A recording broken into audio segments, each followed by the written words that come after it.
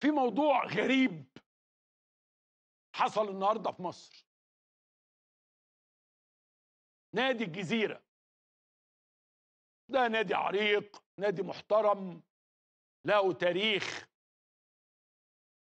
مجموعة من السيدات اللي أعضاء في النادي. والنادي ده الناس اللي منتمية ليه بتحب تقعد في أغلب الوقت وتعمل فيه كل مناسباتها. فكانت عدد من السيدات الكبيرات في السن يعني عيد ميلاد واحدة منهم فخدوا مكان يعني في الجنينة وجابوا علبة جاتوه علبة جاتوه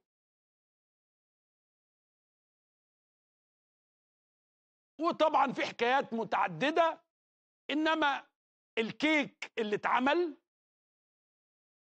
كان عليه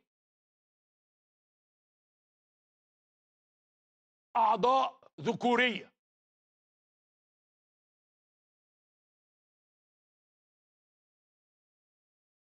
وطبعا يعني نكتة سخيفة وسمجة إنما هم اختاروا إن الاحتفال يبقى بالشكل ده.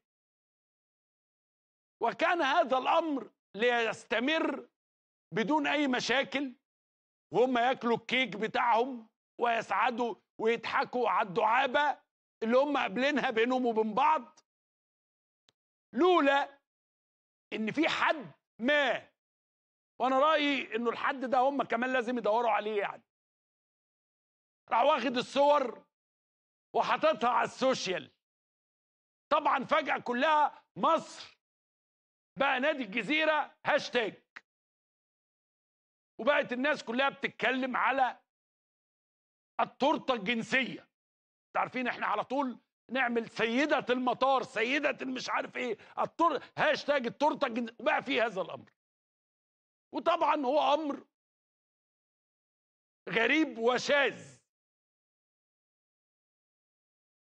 والأغرب في الأمر الأخبار التي تم تداولها عن القبض على السيدة التي قامت بخبز هذه الكعكات الجنسية. وقالوا لي دلوقتي إن تم الإفراج عنها بكفالة 5000 جنيه.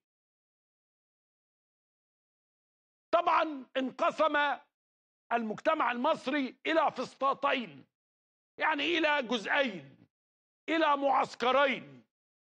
معسكر وده الغالبية اللي قال إن ده شيء يعني غير مقبول وإزاي يعني ستات محترمة في نادي محترم زي ده يعملوا حاجة زي دي وفين الأخلاق وفين المبادئ وهي الناس دي مش عندها عيال وعندها أحفاد.